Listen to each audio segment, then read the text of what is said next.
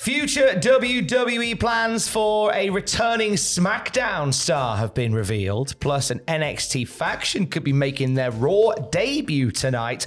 And in an exclusive, Impact Wrestling have confirmed a returning name for 2024. It's all in the Cultaholic Wrestling news right now. Crown Jewel took place on Saturday. Andrew and Adam watched it live. Your shock and awe at the return of Kairi Sane was palpable. It was palpable. It was more palpable than what the crowd were like for the show itself. Yeah. for her return. But it's so good to see her back, and I genuinely can't wait to see what she does. Do you feel like the return was somewhat stunted because it was on the outside of the ring? Obviously, you have the Uh, element of surprise by doing that. I think maybe just maybe just the wrong crowd. Maybe just the wrong crowd for it. Yeah. Shame, really. But either It is. way, she is back. She is back indeed, and I'm so excited. Uh, and there are plans afoot already, aren't there, Andrew? There certainly are. So Fightful Select has given some details on Kairi Sane's return. And they say Kairi Sane's new WWE deal was done months ago, as were a couple of others such as Nia Jax and Lexis King when the unofficial WWE hiring freeze ended. Sane was desired by WWE last year, but WWE couldn't make it happen for whatever reason. Now, Reddit insider Kermit, which is an incredible name by the way. It is a incredible name and an incredible source because Yes. they, they seem to get it right a lot of the time.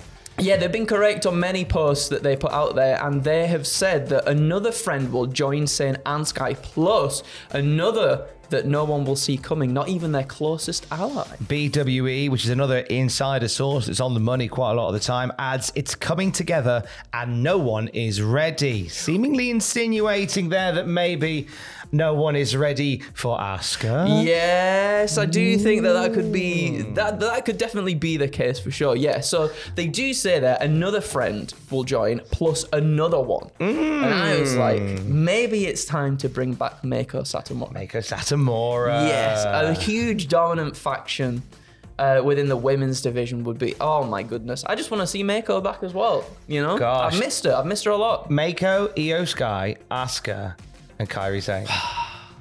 It's too good to be true. One could salivate over such prospects They there with a team could. like that. Yes, That's really That'd be amazing.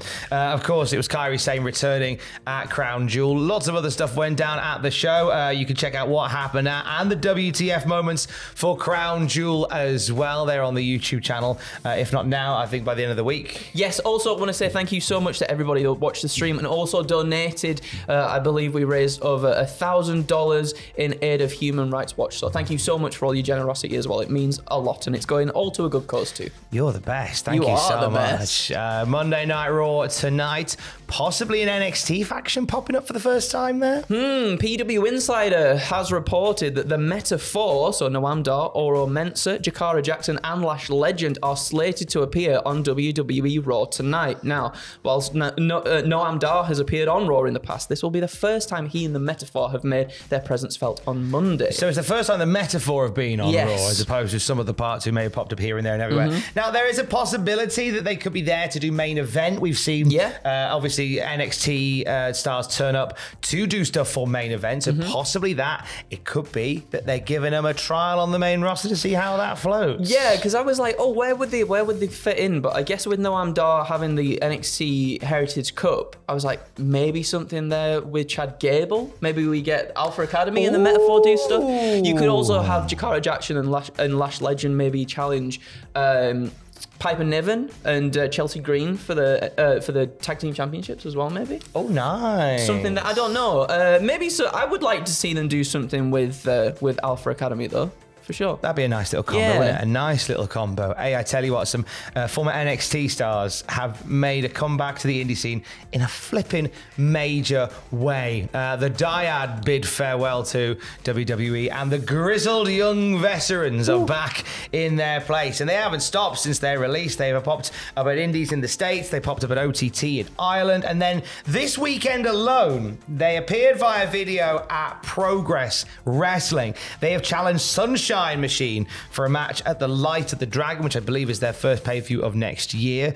That's going to be a banger, those four. Such a banger. James Oh, Drake, Zack Gibson, Chuck Mambo, TK Cooper. I can't wait. Do that all day Yes. long. They also appeared via video at North Wrestling Woo. in Newcastle on Saturday night. Open challenge to any team tough enough to grit their teeth and face the veterans. Um, and that'll be at uh, North Wrestling's last show of the year on December 9th. Coming soon. No, literally like uh, less than a month away. and We're, Oh, we're back at. Anarchy Brewery. Yes. Uh, and as well as all of that, Zack Gibson appeared in person at Rev Pro in London on Sunday, attacking Michael Oku, the, the Mm. Rev Pro champ. Uh, and it sets the stage for a title match between the two, December 16th at Uprising in Crystal Palace. So take time to watch all three videos, right?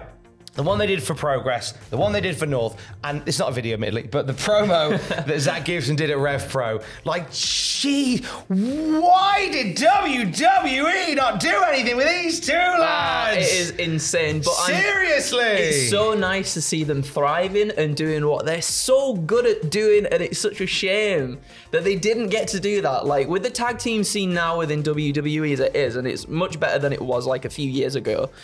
It, it feels like a no-brainer to have someone like the Grizzled Young Veterans like get themselves in there and and make just like such a, a huge deal for themselves within that division. But yeah, no, I'm happy that they've been able to go away now, and they're just like they're doing what they're the best at, just being an incredible tag team. Absolutely brilliant. A busy weekend for them and more to come from them as well. On the podcast feed over the weekend, uh, we dropped episode one of a three part, I want to call it an odyssey. It's called Punk Vember. So Aidan Gibbons, the cultaholic.com tribal editor in chief, has essentially written a dissertation about CM Punk's time in and out and shake it all about of AEW. Uh, so he brought it in and we've we've roundtable discussed CM Punk's time in AEW. Myself, uh, Aidan Gibbons, and the birthday boy from yesterday, Fraser Porter. Woo. I hope you wished him a happy birthday. Be livid if you didn't. Uh, episode one is on the podcast feed right now. Episode two is coming uh, next week. So uh, if you haven't had enough CM Punk news. Which we haven't. Nobody has. No one's had enough CM Punk conversation and discourse. There is more on the podcast feed